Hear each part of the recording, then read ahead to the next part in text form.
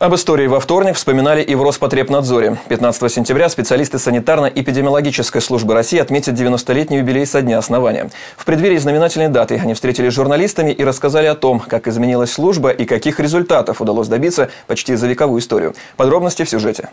90 лет кропотливого и самоотверженного труда. За время работы специалистам санитарно-эпидемиологической службы удалось многого добиться. Заболевания, из-за которых в прошлом гибли тысячи людей, такие как тиф, дифтерия и малярия, сегодня практически канули в лету. Удалось снизить и уровень развития кори, краснухи, гриппа. Залог успеха – применение профилактических вакцин. Нам удается э, удерживать э, уровень санитарно-технологического благополучия на э, достаточно приемлемом и высоком уровне. В частности, ну, за последние несколько десятков лет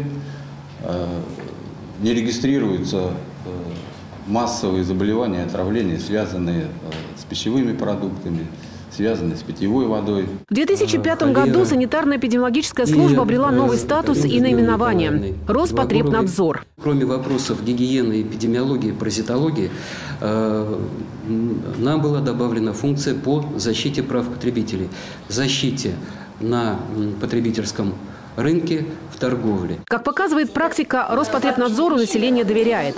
Только в 2012 году с заявлениями о нарушениях прав потребителей туда обратились более тысячи человек. Большинству из них помогли отстоять свои права.